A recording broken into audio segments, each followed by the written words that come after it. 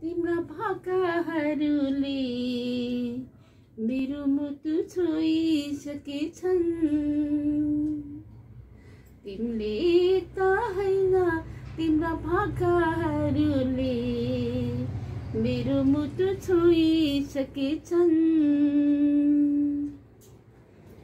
तेरा साथ है तो मुझे क्या कमी? साथ है तो। मुझे क्या कमी है? अंधेरों से भी मिल रही रोशनी। तेरा साथ है तो। अजीब दासता है। कहाँ सर, कहाँ खत्म? कौन सी न वो समझ हम।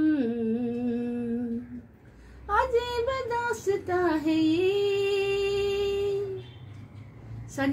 दिदीको चाहिँ नि एउटा चाहिँ नि राजेश सिंह अहिले चाहिँ सङ्गीत गर्नुभएको। मैले थेरापीमा चाहिँ बढी युज गर्ने गीत चाहिँ त्यही हो कि यो हो कि विदेशी भएको दाईको चाहिँ सङ्गीत हो के शब्द हो त्यो गीत? म खुल्ला गीतले त्यो गीत चाहिँ मैले चाहिँ किन गर्ने हो भने त्यो गीतमा चाहिँ एउटा चाहिँ नि त्यो गीत एउटा प्रेरणादायक गीत हो। जसले चाहिँ नि जुन गीतले चाहिँ नि एउटा चाहिँ नि हौसला दिइरहेको हुन्छ सबैलाई। त्यही भएर चाहिँ मैले त्यो गीत चाहिँ बढी गाउँछु। अनि त्यसपछि चाहिँ मैले चाहिँ नि अर्को चाहिँ के हो भने एउटा चाहिँ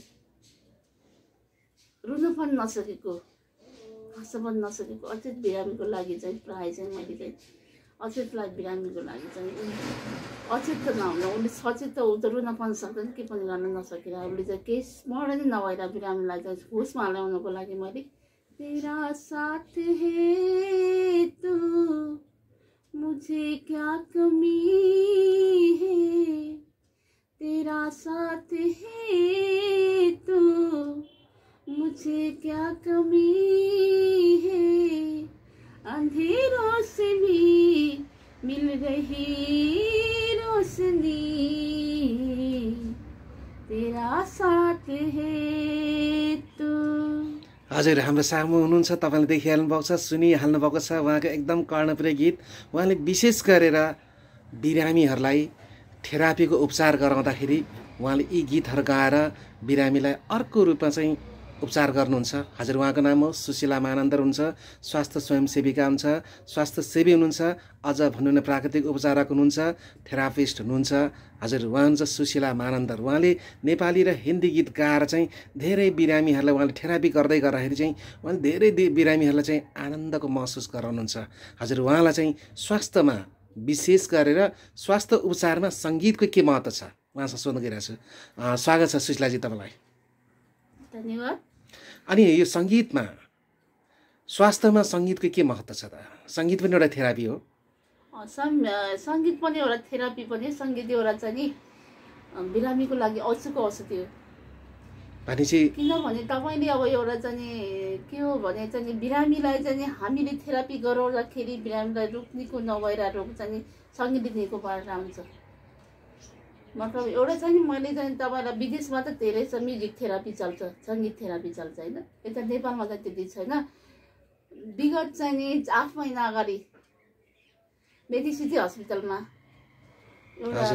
मेडिसिटी हस्पिटलमा चाहिँ खोकनाको एउटा बिरामीलाई डक्टरहरूको डक्टर डक्टरहरूले चाहिँ नि फोकनाको एउटा बिरामीलाई चाहिँ नि आफ्नो उसको रोग छ रोग पत्ता त लगाए सबै गरे होइन? तर त्यो बिरामीलाई चाहिँ नि बिरामीलाई बिरामीले खाना खान मानेन होइन खानामा रुचि जगाएन त्यति बेला चाहिँ उसको छोराले चाहिँ आएर चाहिँ म बाँसुरीको धुन बाँसुरीको धुन सुनाइदिन्छु मेरो बालाई मेरो बालाई बाँसुरीको धुन एउटा सुनाइ सुनाएपछि चाहिँ मेरो बाले चाहिँ नि खानुहुन्छ खाना खान्छ भनेर भन्दाखेरि चाहिँ डक्टरहरूले चाहिँ ओके गरेछ यसमा अनि त्यो त्यो बिरामीलाई चाहिँ तन्दुरुस्त गर्नको लागि चाहिँ र खाना खाए खुवाउनको लागि तन्दुरुस्त गर्नको लागि चाहिँ त्यहाँनिर चाहिँ बाँसुरीको धुन बजाइसके बजाएपछि त्यो बिरामी चाहिँ राम्रो हुँदै गयो। भनेपछि सङ्गीत एकदम आवश्यक। सङ्गीत एउटा उपचार हो। सङ्गीत एउटा चाहिँ भनौँ न स्वास्थ्यमा चाहिँ धेरै लाभदायक कुरा हो। एउटा सङ्गीत पनि म्युजिक पनि एउटा थेरापी हो। जसरी तपाईँले स्वास्थ्यमा आफ्नो अब थेरापी क्रममा धेरै बिरामीहरूलाई चाहिँ सङ्गीत सुनाएर गीत सुनाएर पनि थेरापी गर्नुहुन्छ। धेरैको रोग निको पार्नु भएको छ। होइन त सुशीलाजी? र यसरी नै तपाईँले चाहिँ आफू पनि गायिका हुनुहुन्छ र अझ सुमधुर गीत गाएर चाहिँ अगाडि बढिनु भएको छ धेरैलाई निको पारिनु भएको छ। र आफै पनि अब भनौँ न अब के अब गीत रेकर्ड गर्दै हुनुहुन्छ कि छ? मैले राजेश सिंह राईको सङ्गीतमा र आनन्द आनन्द बजाचार्यको शब्द राजेश सिंह राईको सङ्गीतमा चाहिँ एउटा गीत रेकर्ड गरिरहेछु गीतको बोल भन्नुहोस् न। जसमा जो त्यो चाहिँ युगल गीत हो त्यसमा चाहिँ अब गायक छनौट हुँदैछ सायद रामकिशन ढकाल होला। एक लाइन हामीलाई सुनाइदिनुहोस् न। अनि त्यो गीतमा त्यो गीतको चाहिँ तिमी कहाँ छौ? तिम्रो मनमा तिमी कहाँ छौ?